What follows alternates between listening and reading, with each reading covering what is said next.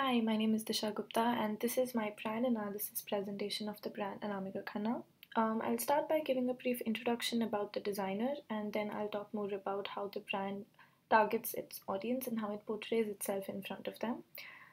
A bit of a background information on the designer. Uh, Anamika Khanna is an Indian fashion designer and is, as of today, one of the most successful and empowering fashion designers that the country has ever seen and her work mainly revolves around traditional Indian wear like uh, lehengas and saris and bridal wear.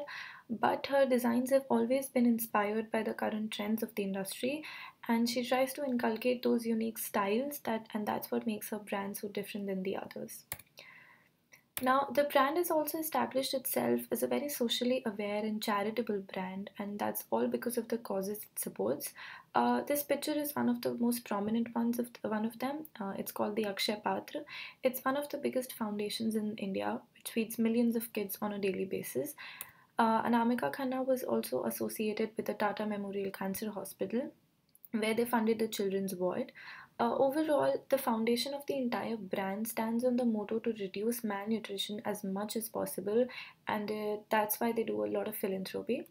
Moving on, uh, over the years, Anamika Khanna has grown to become a very popular name, and that has been reflected in the number of coverages it gets, as you can see.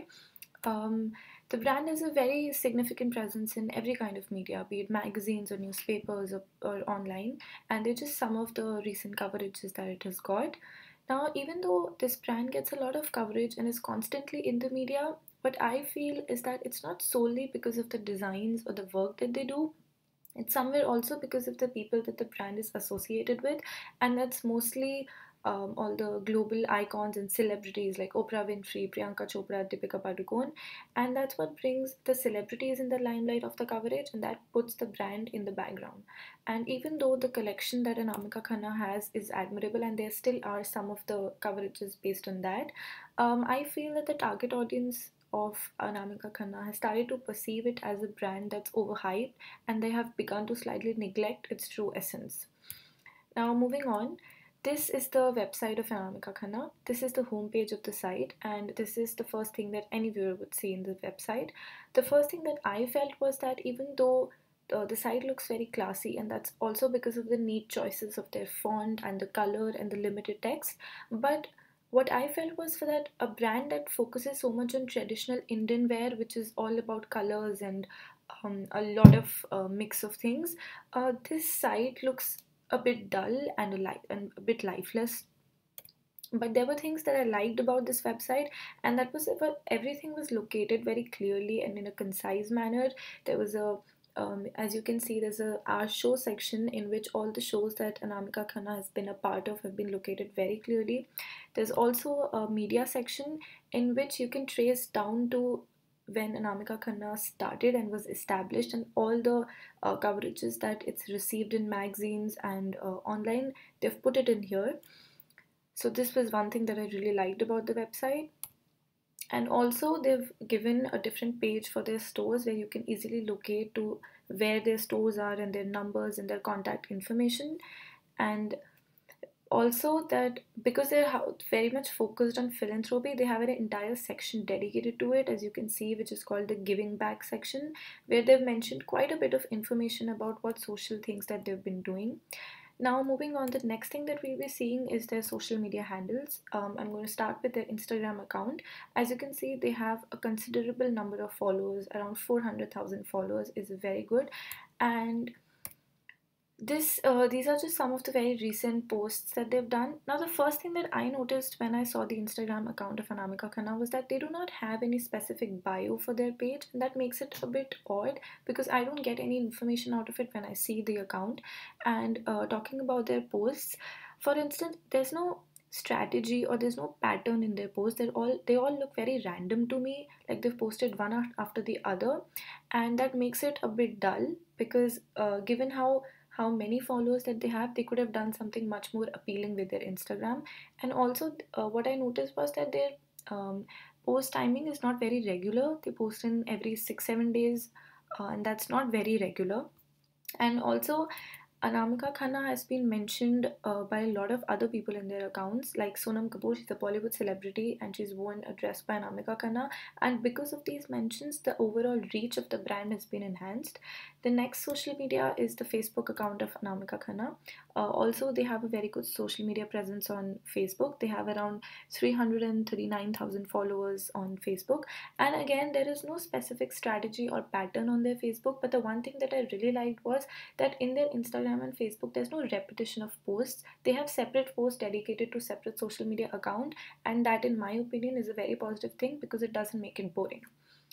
Now, finally, what I felt by looking at their social media handles was that they've portrayed themselves to be a very um, celebrity centric but brand. And even though they're much more than that, their non indulgence in making their social media more engaging for their customers uh, makes that believable.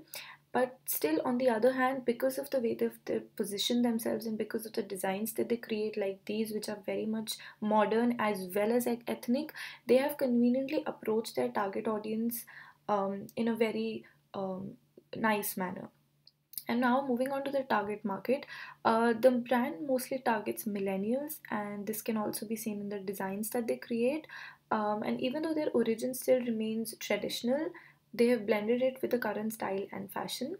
Their price ranges start from anywhere from thousand pounds and goes as high as fifteen thousand pounds, and that gives away that not every person can afford them. This is where I felt that the brand could be more flexible by using some promotional activities or campaigns like giveaways just to engage with their customers more.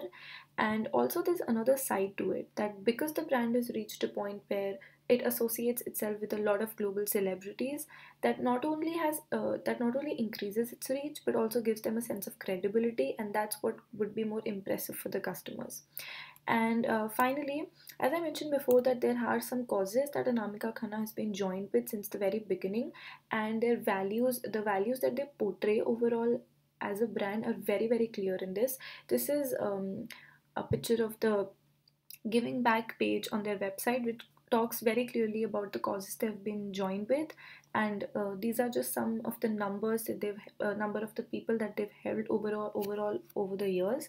And also they've sort of inculcated this idea of social cause into their sales. How they do it is they donate a part of their sales to this cause they support and that makes it very very interactive for the customers because they indulge both of them in their social causes and that makes their portrayal of the values that they follow even more clear. Uh, and finally, the last thing is that what I really liked about Anamika Khanna was that um, be it their collection or be it their values, they've been very crystal clear about what they stand for and what they believe in, and their motto has not shifted. And this has been a very uh, recent interview by um, Anamika Khanna, in which she says for herself that her clothes are for people who are okay to follow the slightly unbeaten path, which is what she does. She creates unique and different styles and still wants to uh, find the own space that she wants, and that's what she portrays in the entire brand. And that's the end of my presentation. Thank you.